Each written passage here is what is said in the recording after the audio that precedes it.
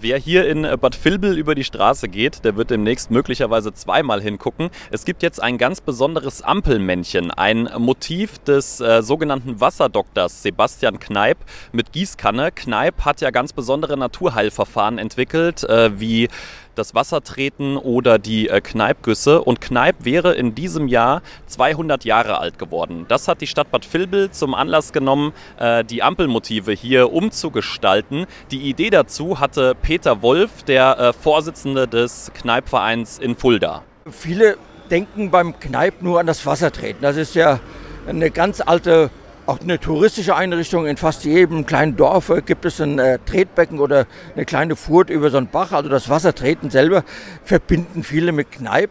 Liegt auch daran, dass er historisch sich selber so kuriert hat. Aber Kneipp selber hat äh, fünf Säulen und Wasser ist eine dieser fünf Säulen, das andere ist Bewegung, das sind die Heilkräuter, das ist auch das mal zur Ruhe kommen und auch die gesunde Ernährung. Und alle diese fünf Säulen passen eigentlich in die heutige Zeit, wo jeder auf seine Gesundheit achtet, auf ja, auch gesunde Ernährung, dass man äh, zu sehr am Schreibtisch ist und als Gegenmittel quasi sich bewegen muss. Und darum diese fünf Säulen passen in die heutige Zeit.